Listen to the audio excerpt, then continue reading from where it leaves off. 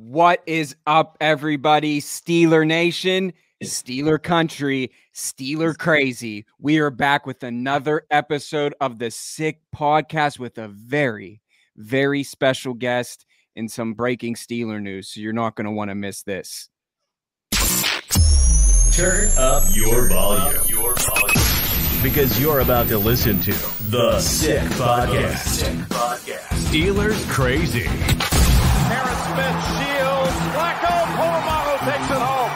Super Bowl 43.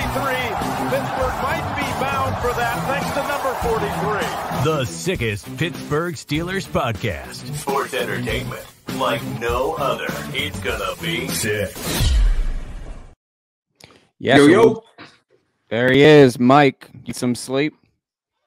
Man, I, I tell you what, not really. I'm on West Coast time right now, man. But Oh, like we man. said before, Steelers never sleep. Neither do we. I'm cool with it, man. This this isn't even a job. You know, we're working. We get to talk Yeah. football. We talk Steelers. Come on now, we got an off six show coming up. Yeah. So uh before we jump into our special guest, uh just kind of some I guess it's not really breaking Steeler news, but it's, you know, important Steeler news. Terrell Edmunds kind of bid in a tweet his farewell. I think he's what 5 seasons now. Um I'll just kind of give my take on it. Um he was a good first round pick. Um played at about a third round pick. Uh Mhm. you, everyone knew he wasn't going to be Troy Polamalu.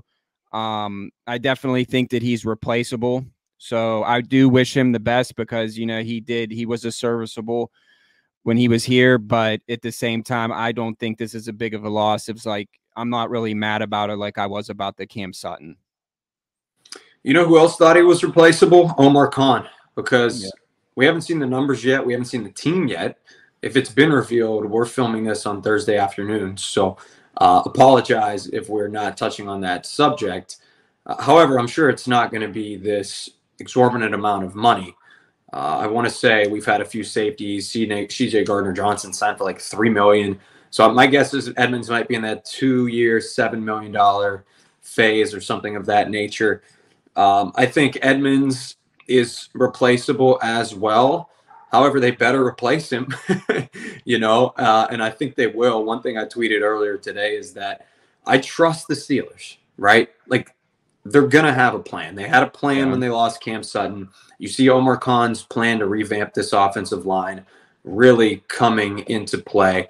So I trust that they're not going to go into the draft pigeonholing themselves into needing to take a safety or needing to take a hybrid corner who can play in the nickel. I think there's a plan out there. Uh, I actually want to bring up something. I heard this from a few guys who I used to work in sports with. I'm just going to throw this out there. This is a bit crazy, but we're the Steelers Crazy podcast. Two names to keep in mind: Antoine Winfield Jr. Wow. currently plays for the Bucs. Safety last year of his contract. The team is way over the cap. They're going to look to unload some guys. And the other guy, you ready for this? Jordan Whitehead. Oh, hell not a free agent. My guy. Not a free agent, but I think he's on his last year of his contract as well. Man, if Omar Khan is cooking in the kitchen right now, that would be a filet mignon. That would be, you know, crab legs. That that Mhm. would just show everybody that, uh, you know, losing Edmunds, I think, is something that ultimately will be okay. I'm with you. Yeah.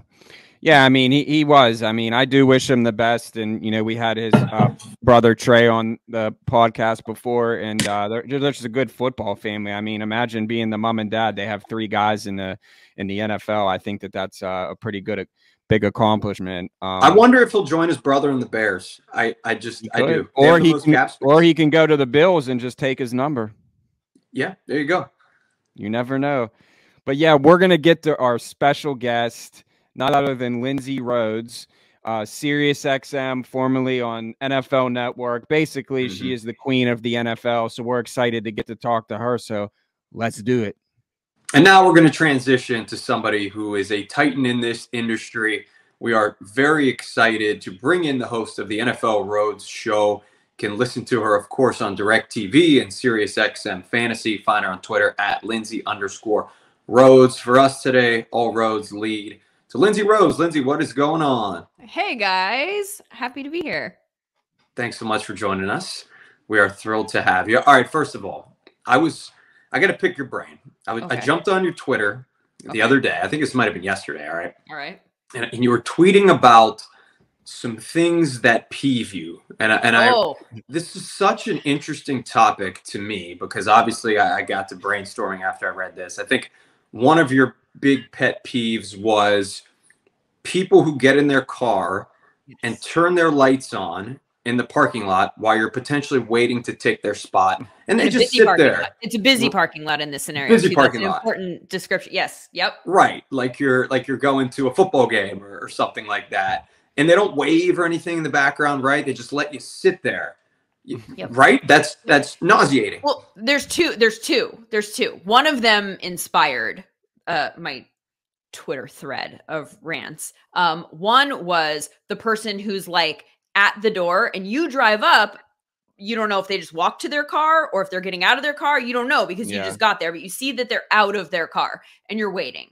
And it's a busy parking lot, and you know, and they just do whatever they're doing outside and then they just lock up the car and walk away. And you're like, I just sat here for like five minutes for you to do that. Like you couldn't just go like, I'm not. No, no, no, nope. I'm not leaving. Like what? What is wrong with you? And then the other one is when you're in like grocery store parking lot. This is where it happens to me the most. I feel like where it's busy, you're looking for a spot, and then the person walks to their car, and you're like, oh wait, I'm gonna wait for that one.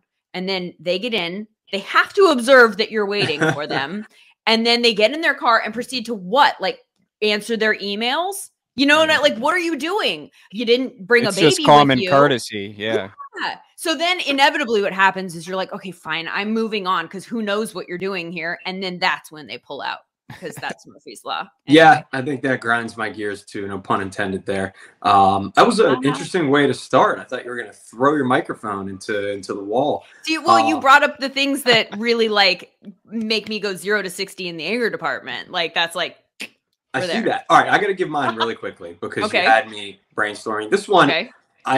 Number one on my list. I think about it all the time, and I feel first of all, I, I it's a tough industry, right? But I really, really do not enjoy when waiters do not write down my order. Oh, because now that that I, I mean, for me, it's kind of like a what are you trying But to what if they get it right? Vibe. What if I, they get I think right? every time you get that wrong, it just Yep. looks so bad, and you're gonna make mistakes. You're gonna make mistakes even if you write it down. But every time they don't write it down, I'm just in my head like, come on, please don't make a mistake. Well, and to the point that you made, I, um, even if they get it right, then I have spent the 15 minutes that go by from the time that you took my order to the time that my order comes Yeah. stressed out about whether or not it's going to be right. Like just if you if you are so adamant that you're like I got it, then just pretend for me. Like you don't want to write it down, then don't write it down. But like, just like give me the peace of mind that my order is gonna come out the way that I'd like it to.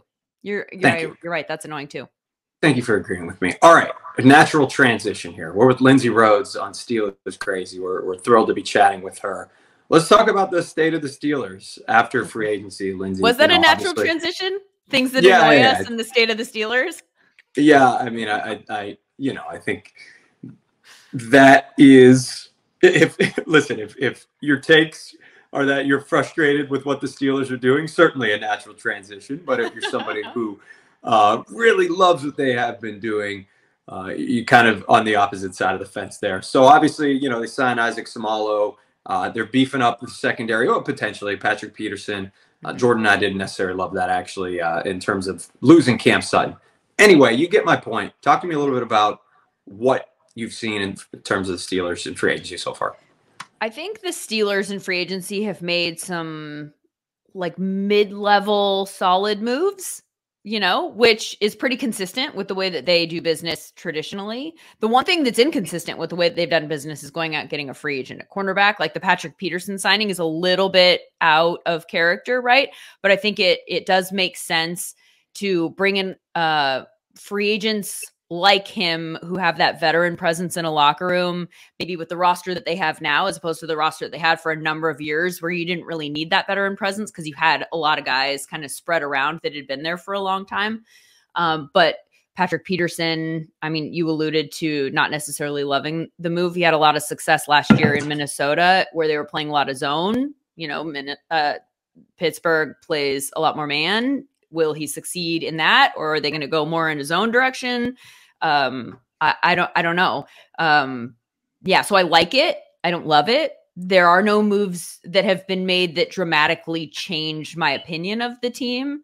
And I think that the the main question that I have, the biggest question for the Steelers, and this isn't like breaking news, is what will Kenny Pickett look like when he comes back? And what will be the jump that he takes from year one to year two? And we're anticipating that there will be a jump. How dramatic will the jump be?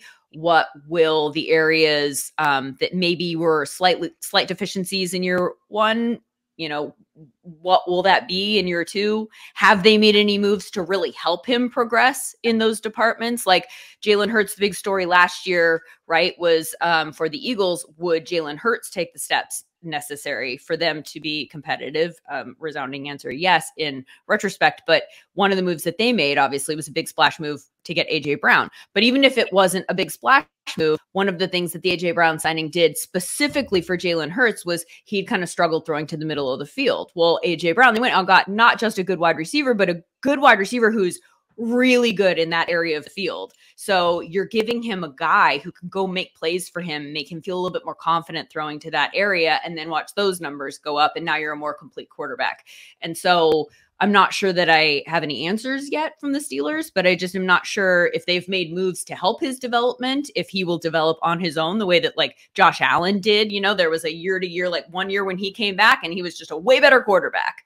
So, what will that look like for Kenny Pickett? That's, I think, the biggest question for me. Would you be on team Steelers sign Odell Beckham Jr.? what does that look like?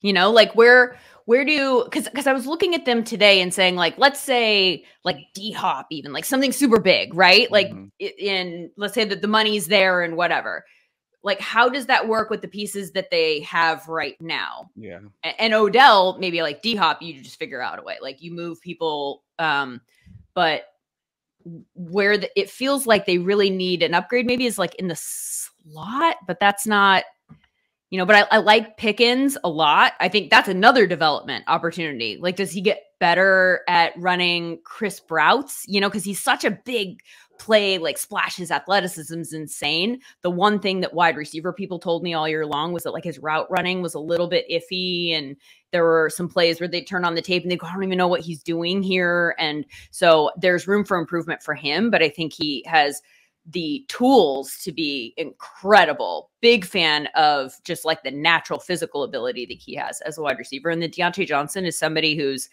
kind of a trustworthy, like security blanket type guy.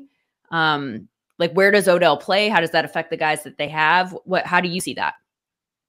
Yeah, I mean honestly, I don't think he's a great fit. Uh, you make a great especially point. in the locker room. Yeah, I, I, agree with that to a degree. I mean, I think Odell has always had that kind of, you know, branded to be a little bit selfish. Maybe that isn't necessarily true. I don't know him personally. Uh, however, this is an offense filled with with youth. Kenny Pickett, Najee Harris, Pickens, you mentioned. I don't know if he's the type of leader ultimately that you want to bring in. You know, I, I think there are guys that they potentially could have had a chance to sign that bring a little bit more of that leadership. I'd have been in favor of them bringing back Juju Smith Schuster. I know that sounds crazy, but Juju, a tremendous teammate who has familiarity, obviously, with the organization. Um, and, and, you know, can play the slot, can play the outside, and is tough as freaking nails uh, out there, Jordan. Yeah, definitely. So this is a question I wanted to ask and get your thoughts on head coach Mike Tomlin. So we have a lot of local reporters on as well as national, but when we, you know, we know locally here in Pittsburgh that, you know, his playoff success, he won with Cowher's team. Like, you know, obviously we just like to ask someone at the national level, what is the perception of Mike Tomlin, like from someone, you know, that it's not cup you know what i mean? You're national so we just kind of wanted to get your perception on on what that is. Yeah i mean i don't think you're going to hear anything different here uh than I, I, think at this point we're all kind of on the same page with mike tomlin to a degree. Yeah. I, I mean i would love to hear someone's argument um that is different or like yeah. you know the counter the counter argument to why mike tomlin isn't rad. Um mike Pittsburgh tomlin twitter me, yeah it, really?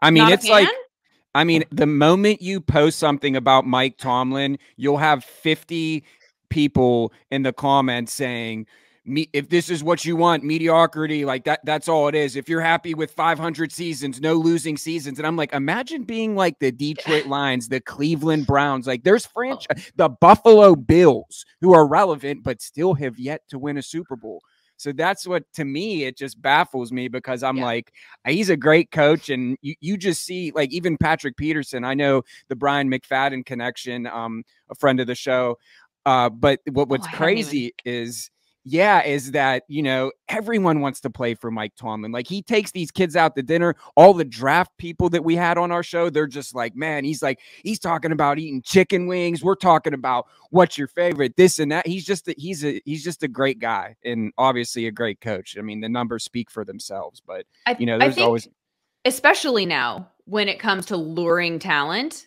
that that's when I think that becomes the most um, important, right? Um, but then also in terms of like building a locker room with chemistry, I think Yeah. I'm a big fan of that. I think that that matters, and I know that that's an intangible thing that's kind of hard to track, but. It, it's one of the reasons that I think I'm not as high on the Aaron Rodgers to the Jets thing as a lot Yeah. of people are that I'm hearing, but that's a sidebar.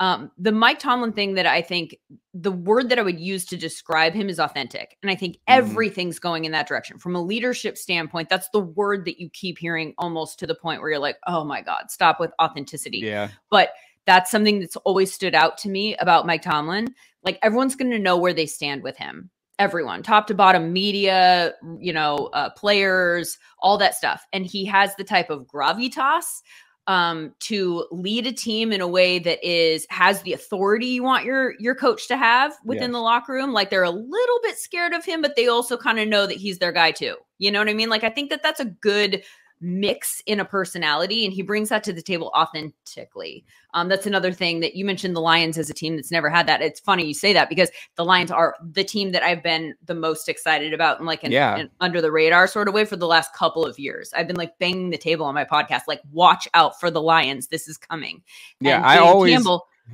Exactly. That's what I was. Yeah, Dan Camp. He's just like a guy. Like when I was watching Hard, I'm like, dude, I would play for that. I would run through Yeah. a wall for this guy, and that's what I feel like these guys do for Mike Tomlin. And sometimes that doesn't work. Like when he did the whole biting kneecaps thing or whatever Yeah. it was at his introductory press conference, I was rolling my eyes. I did not Yeah. enjoy. I mean, I didn't. I wasn't like, oh, he's going to be an awful coach, but I just was like, that wasn't selling me. But then when you see it on Hard Knocks, you see all of the different layers. You see the Mhm. NFL films clips that come out. That's who Yeah. he is. He is that Yeah. guy. He doesn't change. Mm, and and he he had his he has he had a an under um like a ta- a team two years ago that just really wasn't talented had them playing so freaking hard that they were in games that they had no business being in. And then last Yeah. year the combination with Brad Holmes and the GM and they're just building. They're such a good combo and they're building to the point where like it's coming you know? And when you have the chemistry and you have the culture and everyone's buying in. Um, I know this is a Steelers podcast, not a Lions podcast, so I'm kind of going off. Yeah, but the, the- it's my- alluding to the standard is the standard. That's it, it's it's up up at the wall at Acrisure Stadium, so it, it all it all Yeah. ties in with it. Yeah. Um, I mean, then- you do. You, it's a big transition period for the Steelers, though, right? So, like, all of those things Yeah. are not enough, and I get where Steelers fans are coming from. Um, and and you see that with with every type of franchise that is used to having success. I mean, we heard I heard stuff like this about from the Niners out of Niners camp. You know, Yeah. after the playoffs was like, well, we just get so far in the playoffs, and then, but how are we going to get there? So Kyle, and it's like I'm like. Kyle Shanahan? You have Yeah. questions about Kyle freaking Shanahan? Yeah, I mean, there's Like, only one team that wins all the be Super so Bowl lucky. each year. I Yeah. mean, like, get, oh gosh, how many teams must roll Look, their we're eyes? getting her right, fired up, and we're not even talking about pet te- pet peeves anymore. So, um, one, I had, I just had one more question. You kind of already talked about it, so it's just like a simple question, and I'll throw it back to Mike. Um, just, just talk about. Do you think that um, Kenny Pickett can be a successful quarterback in the NFL as far as getting doing enough for the Steelers to contend for a Super Bowl? Um, I don't want to. I mean, yes, can. Um, yes, I, I, I would never want to I would never want to say anything authoritatively no at this Yeah. stage of someone's career. I mean, we've seen so many. I mean, Josh Allen kind of changed the whole evaluation game forever, right? like Yeah. there are there are I mean, Justin Fields in Chicago has what look like limitations from a passing game standpoint. And I'm told that there are people around the league who truly just don't think he has it. And I'm like, what do you what do you mean? Like how have you Yeah. made that assessment so far? He has no one to throw to. Like at the very least what he does on the ground is like let's build around that, you know? Like so so I would never want to say anything like that about anybody. Um I Yeah. would I, I think this is gonna be a big year for Kenny Pickett, you know, and do we take steps forward? Um how how much is um off like the the the pieces around him. I think he might be one of those quarterbacks who needs everything to be pretty Yeah. good in order to have success you know? Does he have a big arm? Can he make those big throws? Is he that guy who's gonna like pick up a, a you know chunk plays here and there? Because that was one of the things that the steelers struggled with. Like they you know moved the ball methodically down the field those few times that they did score touchdowns which weren't enough. Um and you know do you do you have the guys there that can make those big plays? Is he that guy but I don't have answers to that yet. But I haven't seen any reason to think that he is not that guy, and I'm ready to write him off. So no, I'm Yeah. I'm I'm I'm in wait and see mode with Kenny. Pickett. Yeah, the second half of the season was really telling because obviously, like in Pittsburgh, I can speak for you know the fans here, not me personally, but it's like they want instant gratification. Like Yeah. if he throws one interception, like oh my god, he's terrible, and I'm like, Tom mm-hmm. Brady throws interceptions, like it's it's it's football. Um, but yeah, I mean, cut out the turnovers and the two minute. Uh, he was the two minute man. I mean, they already put a, a shrine in the Hall of Fame. I, I seen that uh, the NFL posted for the two uh, two minute comeback. So uh, yeah, I'm definitely excited for the future, and it's it's it's definitely cool to him being from Pitt. It's like you know a storybook, and I I, I do believe that he could lead them to a Super Bowl because Trent Dilfer won a Super Bowl, so that that just says it right there, and that's not Well, a knock. and maybe he's maybe like we don't know what tier of quarterback he is. We don't know that yet. There's Yeah. no there's no limits, you know. So at this point, when people are so young, I think there's such a big development leap that and everybody develops at different rates. I mean, Geno is a very extreme example, but Yeah. like look at what happened with Geno. We were done with Geno, Mm, and they wrote him Geno off. came in and played, but he didn't write back. um yeah so I, I i feel like quarterback play is is just one of those things. I just want you know and i understand people not feeling like they want to be patient Yeah. that they've seen enough but i think there are too many examples out there of people who do take that leap and who do progress. And so if he comes back this year and he has gotten better in some of the areas that were deficiencies then like okay let's work with that. There are some i'm sure that the steelers have laid out and mike tomlin for all the reasons that we just said like he's going to let you know where you stand. I'm sure he said this is not good enough. This is not good enough. This is not good enough these are also loving you up the things that we do like that you do but come back Yeah. and be better at these things and let's help you get there and i'm you know we'll see if he does Definitely. You are listening or watching the Sick Podcast Steelers Crazy. Make sure you look below. Subscribe to us on YouTube, Sick Podcast Steelers Crazy. Joined like by one of our favorites, Lindsay Rhodes, over here. Lindsay, you cover the entire NFL. Give us a storyline you're following right now closely, non Steelers related. Darkness Retreat? darkness retreat. No i mean but the thing about that okay yeah now you're gonna get me going again. This is another subject matter that i can get going on. Um Is Aaron Rodgers a pet peeve? he he might have become one yes. And you know like i i was for years somebody that probably would have been like i'm an aaron rodgers fan. Like this is Yeah. from a just pure athletic ability and quarterbacking skills and so like he's the guy right? Like he's so freaking good. But then there's something that happened um to his demeanor in the last few years where like a lot of a lot of people have this just like vibe an air of confidence about them. And then i think that something happened where it tipped and just went right past the confidence thing to everything feels condescending. And um so i i am at a point now where i i i struggle to talk about him because I feel like it almost feels personal. Like I just don't like the things that he does, and I don't want that to seep into anything. But there's there's some like I talked to Sean Payton about it on my podcast early in the season. There was I don't even remember what week it was, but it was very early, and he threw what would have been a touchdown pass to Christian Watson, and it was like Christian Watson's first game, I think, and Christian Watson dropped it, and a total like blown play by the rookie wide receiver and the camera Aaron Rodgers knows the camera's on him. It's always on him and he turns around, he does the like like Yeah. so annoyed. His face is like I'm so annoyed with you. And I was like he's in his first game. Yeah, Like he knows teammate. that more than anyone. Like be the guy who helps To make him feel up. comfortable. Like make him feel like um uh like not afraid to fail, you know? Like give him permission. Like he's going to fail every once in a while. That's what everyone does when they're developing. Like make him feel like it's okay. And the more that he feels that from you, he he's not going to do that all the time. Like he's not he's holding himself to that high standard. You don't need to embarrass Imagine if Kenny. Pickett did that every time Diontae Johnson dropped the ball. Can you imagine? Like, who the fuck are you? Yeah. Um, yeah, but so so Aaron for me is at a point where like, and then so darkness retreat. Okay, that's how we got going with this. When he went on McAfee and he said he went into the darkness thinking he was 90% sure he was gonna retire, but then like so so now that's the guy that's gonna lead ev- uh, uh, the Jets to the Super Bowl. This guy that literally was ready to walk away from football and 60 million dollar, like just like I'm done. But Yeah. now you have offended me and so i'm gonna come back. I'm gonna come back to what? To spite you? Like i just i don't i don't get the whole thing. And then he and then he was like something changed for the first time and i felt offended by it. But but then he went on to say that during the season he already knew that he wasn't coming back because all of the vibes were telling him that they didn't want him there. So i was like so what really changed in the darkness? Because you just said that you felt that during the season too. I feel like he's somebody who um, wants to win a pr battle and he wants people to think it's the packers fault that he is leaving the packers Well, I if think it's anything, yeah, if it's anything like uh, him, he'll get to the AFC Championship game and lose, and maybe Kenny Pickett will beat him because it doesn't seem like he could get He- past the NFC Championship. He seems game. like a guy that would stand in front of his car and not look back once when somebody is trying to potentially get in that parking spot.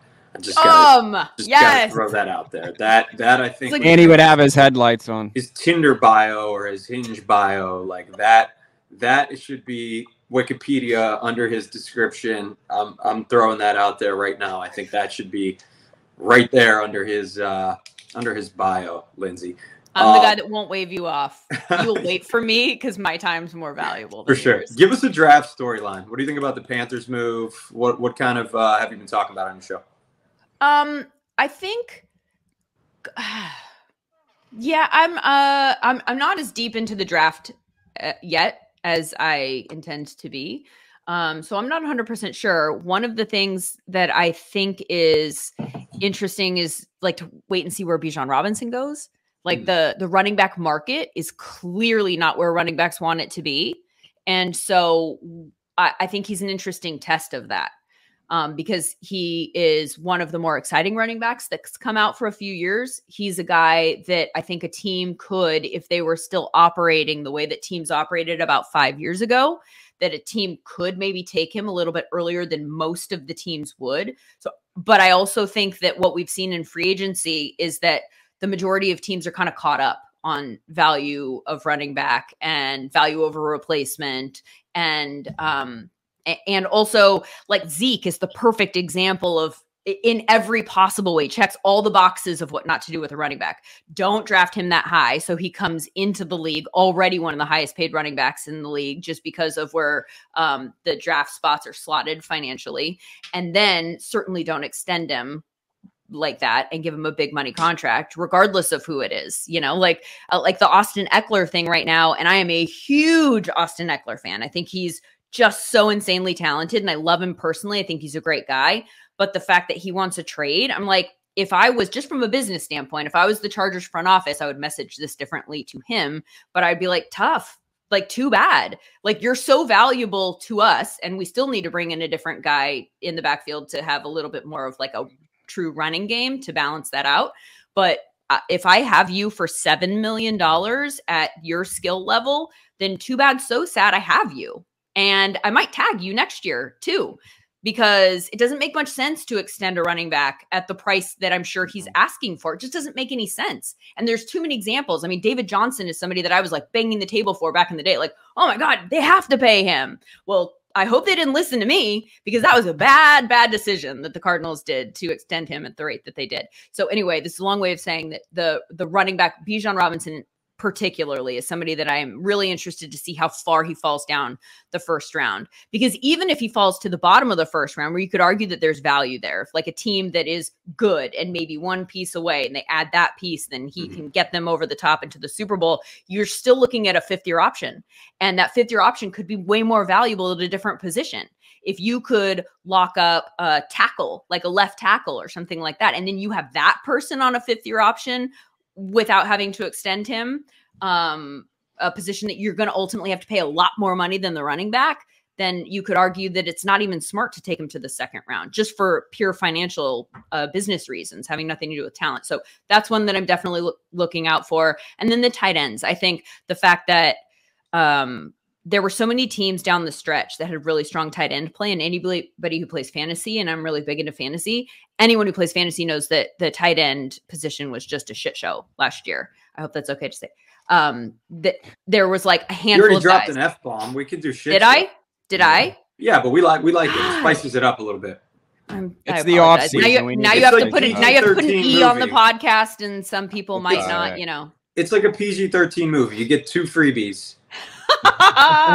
We're But good. tight, but tight ends, it's a great draft uh, draft class for tight ends, and so that's a position that you could potentially wait on until the second round. Like the Lions, who I've already talked about, you know, they trade away T.J. Hockenson, who they were paying. He he had a base salary of nine hundred some odd thousand dollars this past year. Balloons to nine million this year. So they got out ahead of that, got out of that financially, and then got a second in return. Do they use that second to go get one of these really good tight ends. You know, they could get somebody in for like peanuts on the dollar who can do exactly what TJ Hockenson does. And so the the tight ends uh, are a position that I am really interested in because the best teams in the NFL this year that made it to the end had really good tight end play that they could count on. There were a lot of teams that couldn't say that.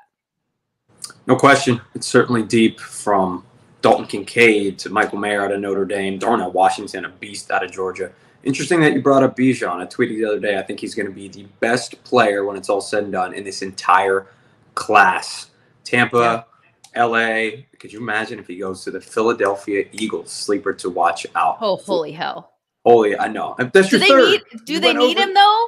I mean, like I like the Rashad Penny signing, and I know that he's not going to stay sure. healthy, and you put another person in your backfield. But like Rashad, his advanced metrics when he's been on the field these last few years, he's really good. He just flies under the radar because he's not on the field all the time. Yeah. For sure. Well, speaking of the best, you're one of the best in the business. An absolute guys. pleasure. Where can people hear you? Uh, I will be back. We're on hiatus right now on SiriusXM Fantasy Sports Radio. We'll be back in a couple of weeks. They wanted to talk baseball for some reason at the start of the season, so uh, we'll be back in a couple of weeks there.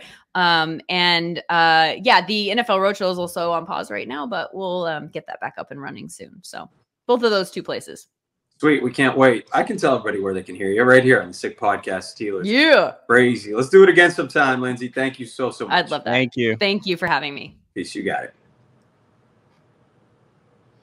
Yeah, great time, man. Jordan, chopping it up Again, with Lindsay. Always exciting. Yeah, yeah, good stuff. And thank you guys for watching another episode of the Sick Podcast, Steelers Crazy. We'll be back.